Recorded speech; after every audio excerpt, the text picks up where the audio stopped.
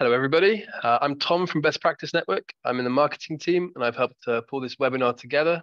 Uh, this webinar is about the National Professional Qualification for Leading Teaching, the NPQLT. Uh, and we've got a lovely panel today who are going to talk all about that. Laura Saunders is our lead tutor um, for all of the specialist programs, including NPQLT. Uh, she's going to give a 20, 25 minute presentation uh, with contributions from Cheryl Abbis, who has very kindly joined us from Chiltern Teaching School Hub uh, over Luton Way. Uh, and she's got lots of experience facilitating um, and NPQ participant experience. Um, so yeah, so really val valuable feedback there. And Jamie Ganley, our head of sales, he's going to be talking all about the application process, uh, the availability of funding, uh, and there's lots available for all state-funded schools, um, and a few other things. So without further ado, I'm going to mute myself, hand over to you, Laura, and um, and yeah. Oh, just a quick one. Sorry, before I do that. So we've got two boxes. We've got the chat box and the Q and A box. Uh, if you think of any questions as we go on, just put them in the Q and A box. Uh, Jamie will be monitoring those, and then Laura will get back to them uh, at the end of the presentation, and we'll have a have a good look at those. And just as a quick test, could you could everybody type where they're from in the chat box, not the Q and A box, just so we know we're working. Just the name of the nearest town or city. Uh, all right, brilliant. So we've got Fleet, Basingstoke, Birmingham, uh, Luton, one for you, Cheryl. Uh, Rossendale, Basingstoke, uh, Southampton, London. All right, brilliant. So, so yeah, we're best practice. We're, we're based in Bristol, but we are very much a national company um, or a national training organization. And we're going to run these groups all over England uh, starting in September. And, and yeah, okay, no more further ado, I promise. Over to you, Laura. Thank you, Tom. Thanks so much. Welcome, everybody. Um, it's great to see you from all over the country. Uh, we're all really excited to be working with you um, and, to, and to give you that info and insight into the NPQLT with Best Practice Network. So just very, very briefly, some insights into where it's come from and what it is, how it's positioned. Um, we're now one whole year into these new, the new iteration of these NPQs, which are essentially part of a golden thread of progressive professional development for teachers and leaders, as you can see on the slide. There are a growing number of NPQs. Um, six of the programs are shown here, uh, replacing four previous uh, NPQs in the previous iteration, which you might have heard of. Um, in developing the, the width, really, the breadth of the pathway, the old NPQ ML for middle leadership has been replaced by the NPQ LT, which you're here to learn about tonight, the NPQ LTD, which is leading teacher development, and the NPQ LBC, leading behaviour and culture. Um, and that's in order to provide more choice, more opportunity, and a sense of direction for school leaders such as yourselves um, to become better leaders within those specialist areas. Um, just very briefly, a little bit of context about them. They are all, uh, all the specialist programs are 12 months long. The leadership ones are 18 months. Um, and that after that 12 months, you uh, take um, a, a, summative assessment task. Really importantly, there is no project. Um, it's um, uh, assessed purely on the summative assessment task at the end and the formative assessment tasks throughout um, help you towards that um, a really key difference is that there are no longer any leadership behaviours in the DFE frameworks, um, but uh, we at Best Practice are really, really keen on continuing to embed really key leadership behaviours and skills throughout. So they're embedded into our programmes, which we feel are really complementary to the DFE's statements. Um, there's a much greater emphasis on practice-based activity in this new iteration. We think that is fantastic and we've geared our programme towards that. Um, it's very much about participant context through practice activities and in-school performance coaching sessions. Equally, there's a great deal of domain and school specific evidence um, as opposed to the previous generic um, evidence base from previous iterations.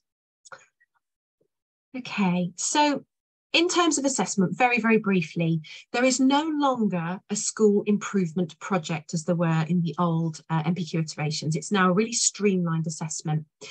It's about the application of learning in practice. Um, and the final assessment follows the 12 month programme of engagement, as I mentioned briefly earlier, um, through an unseen case study scenario where participants are asked to write a response um, in, under, in around 1500 words. And those are, that, that is written and submitted within an eight day window at the end of the taught programme. Um, really importantly, in order to be entered for that summative assessment task at the end, all participants need to meet at least 90% engagement um, across the programme elements leading up to that over the 12 months. So we know that the frameworks are designed for really different interests or experience. Um, however, since best practices programs have been written to be highly inclusive and really sort of suit diverse experiences.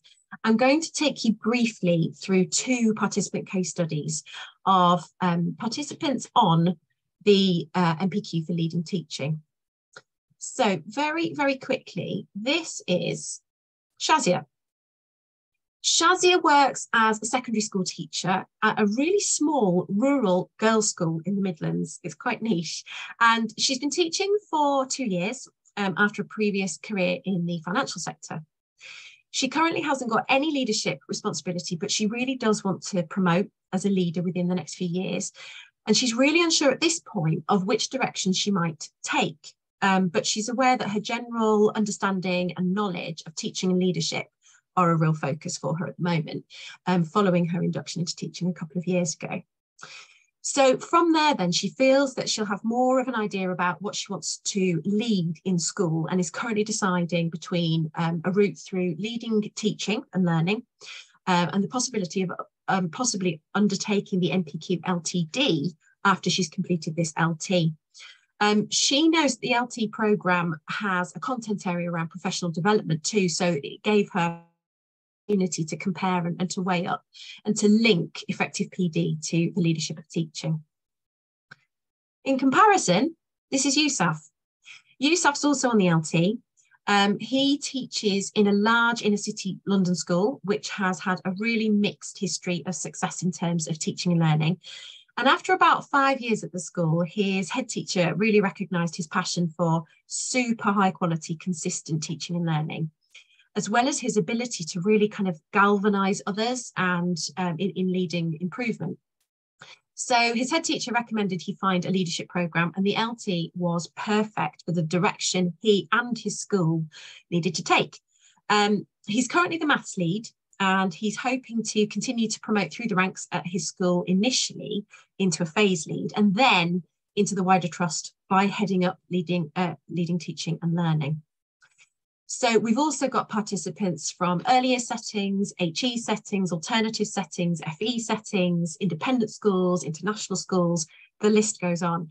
And my point really here is that the participant body engaged in the NPQLT is diverse and um, they're all at really different points in their teaching and leading careers, all at different, completely different school or setting contexts.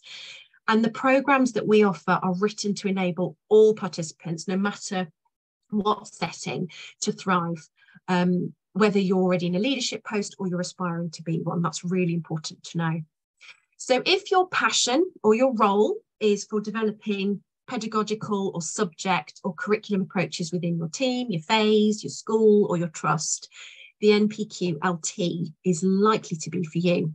Equally, um, if you want to be responsible for leading teaching in a subject, a year group, a team, a phase, um, or a group, it's uh, likely again to be the NPQ for you. So very briefly, the NPQLT is based on content areas like all the other NPQs. Um, and they hold a series of learn that and learn how to statements. You'll see those crop up when you're on programme. Um, the content areas have been designed by the DFE and they appear in the DFE's NPQ frameworks. Tom, if it's possible, would you mind adding a link to the chat box to the NPQLT framework, please? Thank you. Just put him on the spot there. Absolutely. Um, one second. One second. Thank you, Tom. Um, so this slide you can see now shows you the content areas from across all um, uh, three of the specialist programs, um, how they compare to the leadership programs. Now, we have structured all of our programs to cover all of their content areas, which is a DFE requirement. Um, and this is the way we've done it on the slide. So as you can see um, from the blue uh, circle, uh, the LT programme covers a great deal of breadth um, to respond to the wide range of experiences and responsibilities that participants engaging in it have. So it covers a great deal of content areas. What's really important to know is that underpinning all of these content areas is a hugely strong and robust, clear evidence base and resource list. Um, and we've linked these to really specific school practice that are going to be presented throughout your programme to really exemplify what the content areas look like in practice, uh, bring them alive uh, in the given context, and then to really challenge each of you through various different kinds of activities to apply them with relevance to you and your schools. Um, just importantly to note, at every point, participants carry with them a leadership development record, the LDR, and that tracks the progress and ensures relevance for you all the way through as, as individuals on the programme. So this group of content areas has guided the way the programmes um, have all been structured and designed. Um, and all of best practices specialist NPQ programmes follow these learning stages. The um, development stage occurs three times. So following your induction stage, which speaks for itself, um, you will have face-to-face events, online course study and practice activities, formative assessment tasks, and in-school coaching um, three times, uh, cycle one, cycle two, cycle three, before you enter the summative assessment stage um, after the taught programme. Um, also on this slide, it demonstrates the number of hours approximately for all of those specialist programmes, including the NPQLT, and, and how long you'll be expected to be um, working towards that. Just very briefly, Best Practice is a very large professional development provider delivering NPQs and a whole host of other wonderful professional development. And it's been happening since around 2012. So when choosing an NPQ provider, especially like ours, it's really important to consider the values and the approaches through which we operate. The whole team at Best Practice work really, really hard um, to ensure that we are constantly inspiring learning, working together, striving for excellence, and importantly to us, acting with integrity. So we're all here to get the best leaders for all of our children, no matter where they are in the world um, or the country today. Um, and the NPQ work uh, supports your professional learning through the programme, and more importantly, ensuring that you're even better leaders at the end of the programme than you were at the beginning. Um, so we're really proud to be here with you all this evening um, and to share these sort of insights about the NPQLT. And so now what I'd like to do is invite my colleague Cheryl Abbis, lead of early careers at Chiltern Teaching School Hub, one of Best Practice's wonderful partners, um, and Cheryl, uh, welcome. Uh, as well as being a partner with Best Practice, I know you've also completed one of the other specialist NPQs as well. Um, so you come at this from partner and a participant perspective. Can I ask you really briefly, please, to just A, give a little bit of context about Chiltern and the NPQs, uh, the place that the NPQs play in Chiltern, and also your top highlights of the NPQLT from your hub's perspective, please. Yes, definitely. So Chiltern Teaching School Hub is two hub allocations across Britain. We service kind of four kind of county areas. We currently look after around 650 schools. So um, at the moment we have around a thousand participants on NPQs. And for us, it has just been absolutely incredible to see how how many schools want to get involved the development of staff. I mean, the bonuses go for miles. It's about retention of staff. It's about the impact on children. You know we're beginning to see those staff that have just finished that first round. They're talking in different language you're using the learn that and the learn how to which with my ECF hat on makes me sing because it's the same language and schools are using that through the breadth and we're hearing them using that in their training language. I think the new the new specialisms are calling out for what people needed. They wanted something very specific. And having facilitated the LT, I have watched staff really think about how they can develop the team, how they can develop that across a phase and a subject area. And one thing I think is really key is everyone kind of thinks to themselves, but I'm secondary or I'm primary or I'm EYFS. It doesn't matter on this course. There are so many case studies that are linked to different areas. And when you're having those conversations with your colleagues, the conversations can be taken across the breadth, but there are specific case studies that work with their own areas And as a participant myself, I really looked at this and thought, oh, where am I going to find the time? And you see those hours that Laura talked about, but it's not quite as scary as it looks. A lot of that is time for you to kind of log onto Canvas. And, you know, I've done it sitting on a train, reading my bits of case studies and going through readings um, and going through that work. So I think that from both leading this, from recruiting for this, and from being on the course, there's some real positives what we see in the classroom. Then our students are um, seeing the kind of benefits from this, but also our phases are, are improving, our curriculum leads and the development as we go forward. Thank you so much, Cheryl. There's so much there from all your different perspectives, and it's great to hear the impacts that's already starting to have. I was really interested to hear about the language um, and the behaviours of the people who've been who've been participating and, and what impact that's having for the students, which is let's face it, what we're here for. So brilliant, thank you. Um, I also like your kind of multitasking of doing it on the train. Marvellous. Um, so could I ask you then, just to give us a couple of examples of the the roles and the pathways um, that some of your participants on the NPQ LT have uh, are on uh, whilst they've been doing their um, programme, please? Yeah, definitely. So I can think of a couple of colleagues to use as key examples. And um, we've got some colleagues that are from a relatively new school. So school's only been open a couple of years now.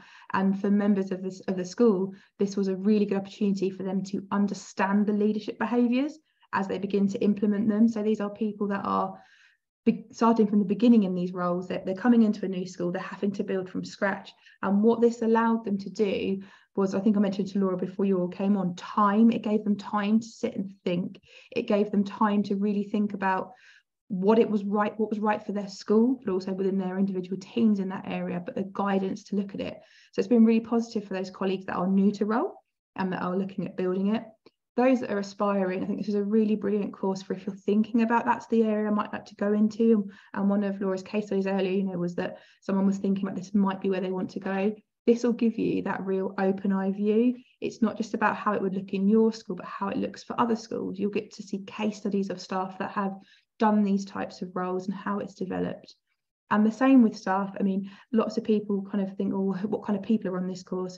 We've had people up in senior leadership teams come onto these courses who just want to refine their knowledge and they might have changed their roles within SLT or they might have just been doing it for such a long time. They want to come back and refine it and work with colleagues.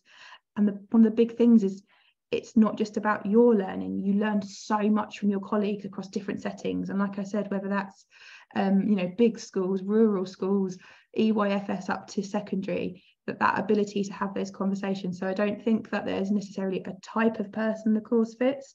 It, it's open to everybody as long as that's your train of thought that kind of your phase lead, subject leading. So we've had a variety of people, which has just been wonderful. Brilliant, thank you. I was to back that up. Actually, I was talking to a group of participants today, and they were talking about the value of the knowledge they've been gaining on the program, but also the value of the perspectives of the other people they've been engaging with, just as huge for them as the knowledge. Um, so that's that's brilliant to hear. And like you say, we have participants from all sorts of different roles and backgrounds. We've got a number of um, very senior leaders who've taken part in the NPQLT to really bottom out and understand the most recent and up-to-date research on leading teaching and learning and how they can then share that in school and then get other colleagues onto the LT programme. Equally, we've got teachers who've been in teaching two years and going, yeah, I'm, I'm open for this. I want to see what, what I can do with leading teaching. So like you say, massive breadth. So thank you, that's brilliant. Okay, so you've given us a little bit about this already, Cheryl, but perhaps there's a little bit more. What have you, what have been the most sort of impactful pieces of learning so far for any of your participants on the NPQ LT? Oh, I think particularly with education moving forward, this evidence base is huge for all of us. And one thing that, if we're really honest, teachers don't have is time. And one thing that's been brilliant about the NPQ and the format of it is everything you need to read is at your fingertips. I laugh about doing it on the train, but it really is that easy that you know you can log in on your phone or on your computer and all the evidence is there for people. And lots of the conversations we've had with participants and for myself on the courses has been that uh, you know generally you only make time to read the piece of evidence that somebody's pointed you to that you get to read one a week. But actually you've got this kind of structure of evidence and then you're discussing that in person. So it's it kind of takes that individual learning to another level when you've got those other people. So I think for personal impact it it gives you the time and the allowance to focus on the things you want to but it's also very focused in that you're reading the right things and not just reading what somebody's tweeted about as being the new hit bit of evidence that you need to read in school and let's change everything. This has been really carefully thought out. And even just down to little things like if you only need to read part of that piece of information, it's clearly linked as to where you go. You're not searching and Googling for lots of information. So the kind of the structure for me and that that refinement of which pieces of evidence are relevant to what I need has been and what those individuals have needed has been really important. Fantastic, thank you. I'm really hearing a lot from what you've said actually about the importance of the application of any of that reading or online learning. And what we've what we've been really, really keen to do with the programme is provide the evidence base and provide that research, the rich, recent, up-to-date research that we know is rigorous um, and supported by the DFE. And moving that very quickly into so what? So what are you going to do with that in the classroom, in your school? How are you going to apply that? Um, and one of the ways that we've um, wanted to do that is to create a series of um, video case studies that you'll have seen and all of your um, LT participants have seen, where it's about participant, uh, it's about leaders in the field and how they are le leading various different aspects of um, teaching. And like you said earlier, they're relevant to all the different phases, all the different possible contexts, schools, and settings. Um, and then they really encourage you through practice um, activities to start applying them. You do formative assessment tasks to test how it's working in school and really go for it in school to see what's working well and what else you can be doing. And I, I'm just it's really great to talk to you and hear about the impact that that's having on the participants in, in Chiltern. So thank you. I've just got one last question, Cheryl, before we go to um, people's questions in the Q&A box. Have there been any commonly arising questions from your NPQ LT participants? Oh, interesting. I think before people start the programs, the question has been, is it going to be onerous? Have I got time for this? My favourite question from head teachers, how do I get everyone to do a whole school project when I've got 10 people on this? I think you've already nailed that one in saying that there isn't those areas. I think a lot of participants have questioned that, well, what do I do with this at the end? And in the first session, the main question is, well, what am I going to do with this when I finish? And by the second and third session, that question's gone because they're telling us the answers. I'm going to do this and I'm going to try this with my class and I've seen this and this is working. And it's almost as if you are self-guiding yourself through it. So your facilitators will be giving you key questions and lots of key information, but they're not telling you how to change this.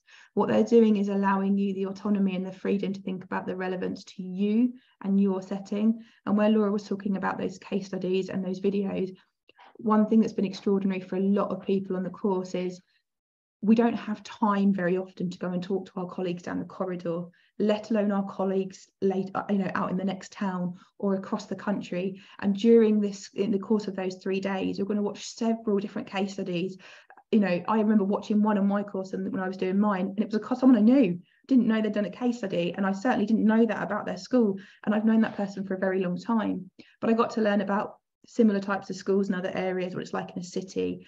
And it was almost as if somebody had given me that kind of free pass to take a week out and visit loads of different schools, but I got to do it in a really quick succession. So I think that's been kind of a really great thing for people. So I think the main question was what do I do with it? But by the end, they found their own route and the way the qualification works is everybody's end point will be slightly different, but it will be the right end point for them. That's so helpful, Cheryl. Thank you. There's there's a couple of things in there, isn't there? The first thing that I heard was, isn't it interesting that the first question is, is this going to be onerous? Is it going to take a lot of time? How am I going to free people up to do this? And actually, what they're finding as they're going through, they're managing their own time um, as they pick it up and as they begin to own their learning throughout the program. And then linked to that is this bit about self-management and autonomy. And for me, it just it, it makes me so happy because what I'm hearing is that those participants are learning those leadership behaviours and skills really early on and then putting them into practice for the programme, let alone beyond and in school. Um, so the students must be seeing these amazing leaders in school. So thank you so much, Cheryl. I, I really appreciate that. Tom, Jamie, are there any questions coming through um, that you'd like to put to Cheryl? Just for Laura, do you want to go on to the next slide? So I think it's the next steps, and then we'll come to questions. Sure.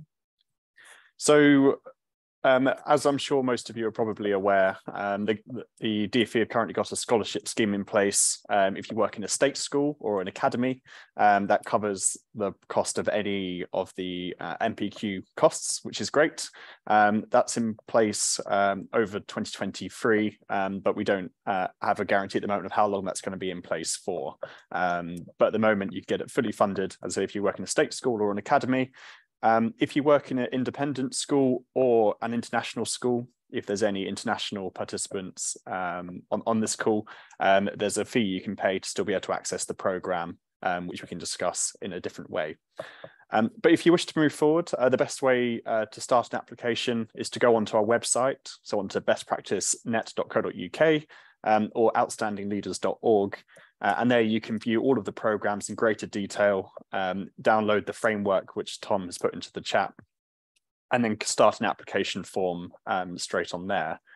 Um, also, at the same time, I'd recommend for you to have a chat with your CPD lead or your head teacher um, or your line manager possibly um, about, you know, you wanted to undertake this program and the reasons for that um, because as part of the process, we'll ask you to, uh, they'll, we'll ask them um, to gain, gain their approval and their support for you to, to do the program.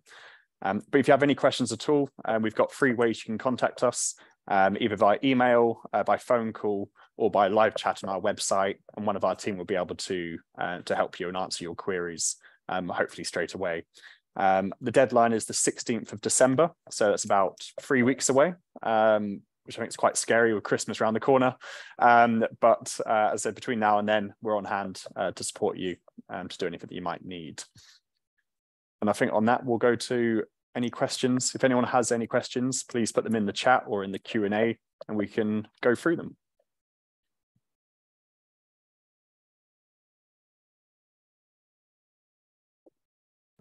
There's a great question just popped up uh, from Kerry.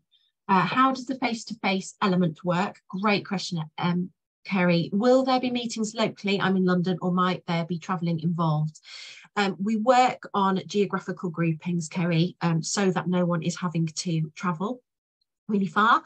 Um, if for any reason anybody was in an area that there wasn't um, a geographically appropriate face-to-face event, we would offer at the sort of last resort a virtual version. Um, but yeah, it will always be local to you. You'll always be able to find a hub near you. Um, and we do all the hard work for you in, in sorting out the geography too. I hope that answers it, Kerry. Does anybody want to add anything else to that one around face-to-faces? I might say, um, oh, just quickly, uh, so NPQLT is, is one of our uh, most popular NPQs, and we've we've got hundreds of groups around England, so you will be pretty close unless you're on the absolute uh, fringes of the Isles of Scilly. Uh, you should be pretty close to a group, and and you can use the contact details there to sort of confirm where your nearest one might be. Thanks. Just, just from a hub point of view as well, when we are looking at grouping with BPN, it's always worth um, if you live far away from your school, letting the hub team or the BPN team know, because it may be that they'll place you based on your school um, address because we won't know where you live. So if you work in London but live in Hertfordshire, it's worth having that conversation either with BPN or your local hub. So just so that we can place you appropriately without creating more kind of journey time for you. That's really helpful, Cheryl. Thank you. Especially around cities like London and Manchester, we want to make sure that you haven't got to sit in loads of traffic um, as well. Thank you. Okay. Lydia has asked, great question. If the deadline is the 16th of December, what is the date the NPQ LT actually begins? It's February. I, could, I couldn't tell you the exact date, but it's February. Um, so it gives us enough time to, to sort of process all those applications and let you know whether you've been successful and get you get you going, Lydia. So I hope that helps. Anybody want to add anything to that? Okay. Okay, um, so somebody has asked if I would like to do it with a specific hub, would I be able to make that choice? I think so. Jamie? Yes. Uh, so as part of the application process, um, it will ask you about your the it's called the engagement route, and in there, you'll be able to recommend uh, which partner you've been or which hub you've been uh, referred by. And then we'll be able to link it all in that way. So you're attached to them uh, automatically. So look out for that on your application form. Thanks, Jamie. Tom, did you want to add to that?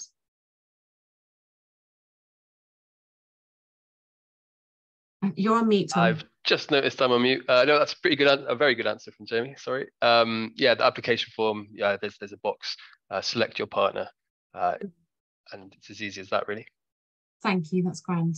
Okay, Victoria, great question. If you are planning on being off for a couple of months during the course, but are planning on returning to school, are you still able to complete the course? Um, without knowing the ins and outs, Victoria, it's hard to answer specifically, but broadly, yes.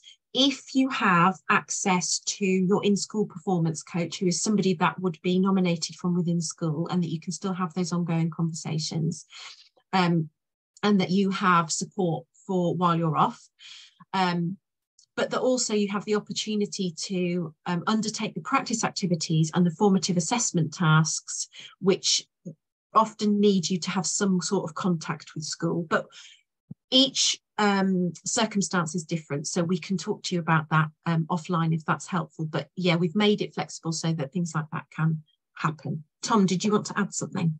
I did, yeah. Uh, so we get lots of things like that. We get people who who change school, people whose cir- circumstances change. Um, we've got a really supportive team. Um, so over communicate with us. Tell us in as much time as possible um, what you think is going to change. If you think uh, your studies will be affected, and we can almost always find a solution. Um, yeah. yeah, contact details on the screen now. Thanks, Tom. And like Tom said, you know, we are really supportive. Loads of different circumstances crop up. We're humans, life happens, lots of things happen. So we're, we're here to support you with whatever that is. Okay, somebody has asked, does this course offer training to build up skills ready to be a year leader or phase leader? Fantastic question. Right, Tom, do you want to start? Got in there quickly. No, sorry, this is, this is all yours. Fine, okay. um, yes, it does broadly speaking. Um, there are, it, it's all about improving your leadership and developing your leadership of teaching and learning within school. And perfect roles that follow that are year leaders, phase leaders, subject leaders, department leaders, um, lots of different, um, effectively middle to senior leadership types of roles. Um, so, yeah, it does, uh, it, it, in broad answer to your question. Cheryl, did you want to add something there? Yeah, I was just going to say is thinking about there'll be lots of different people on that course. So not only will it be building up your skills, you'll be able to learn from other people that have perhaps been in those roles. There'll be other people like you that are gaining that kind of momentum. And something that I think that I should have mentioned when I was talking earlier, and I haven't, so I'm going to throw it in there now. You mm. have your in-school coach, but you also have an external online coach that's based in the BPN team, and they are an absolute wonder. So that is somebody that you know doesn't you don't work with, you don't see every day that you can ask all these questions to. So that inevitable silly question they are the best person to ask. So when you are new to those roles or trying to you know you're aspiring to those roles you have not only do you have a facilitator running those sessions you have that in school coach with you but you have that external support mentor as well to ask all those questions to so you this wealth of knowledge becomes at your fingertips as soon as you walk onto the program. Thank you, Cheryl. And just really importantly to say about that uh, best practice leadership mentor, they are your main point of contact um, for the programme. And then your in-school performance coach, who's a person nominated within school, is your main point of contact for um, all of your application of your learning within school.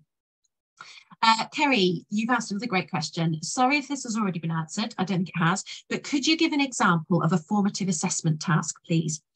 Okay, um, we provide WAGOLLs, what a good one looks like, um, online when you start the programme.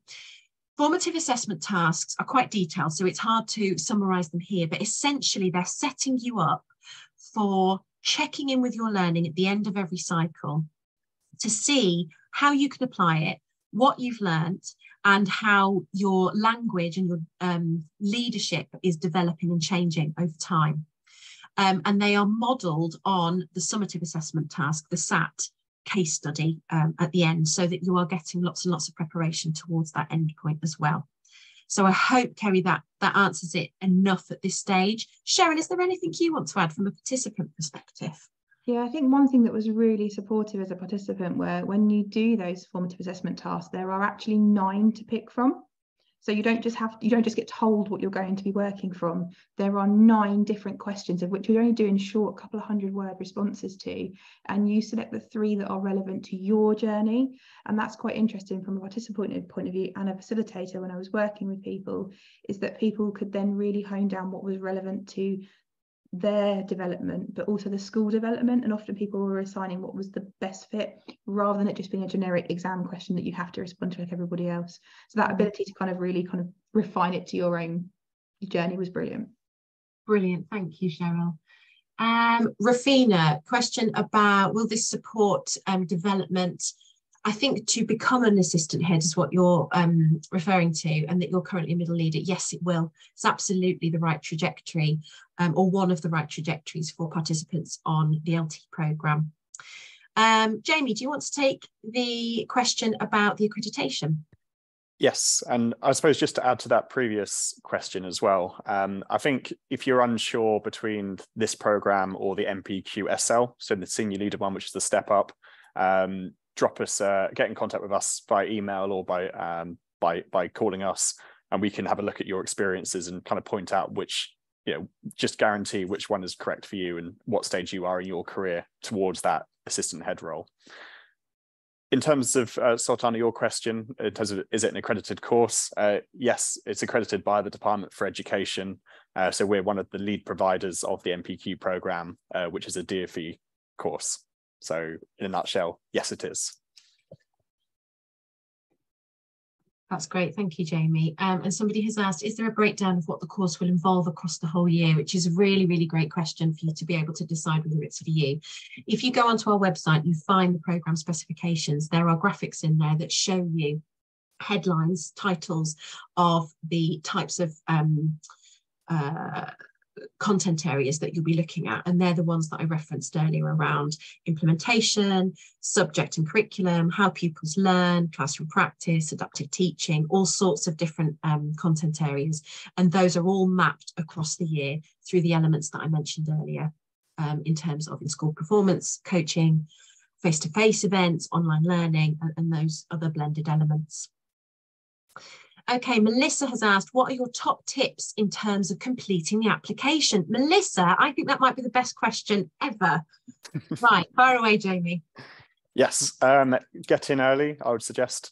Um, but also, it probably take you about 15 to 20 minutes to complete. Um, so undertake it when you've got a chance, you know, away, you know, so you can do it preferably in one sitting is, you know, generally best.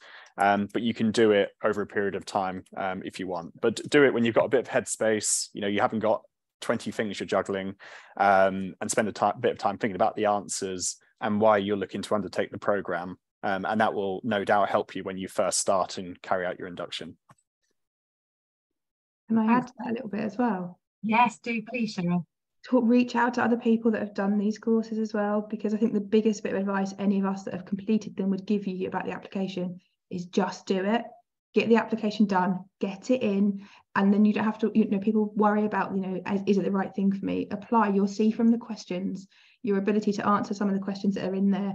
They're only looking at guiding you and where you're working. So my best bit of advice is log in, fill it out and jump on the course because you won't regret it once you get onto it.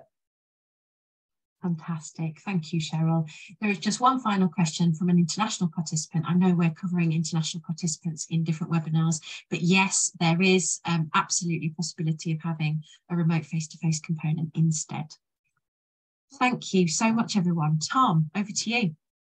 Oh, brilliant. Uh, thank you guys. Uh, really, really good presentation. Uh, in the marketing team, we, we try and portray these courses through brochures and things, but I think hearing from the people who've created and who deliver and who've completed the courses is just so much more beneficial. Um, to everyone who's attended, we will be sharing uh, a recording of this event plus the slides, which Laura pulled together for us. Um, we'll be sharing those in the next few days. So check your inboxes for those. In the meantime, yep, thank you so much for attending. Any more questions? Uh, the number, and number and the email address is on screen. Um, a special thanks to Cheryl who uh, who very kindly joined joined us from uh, from Chilton today. Thank uh, you. Thank you all. Amazing stuff. Thank you.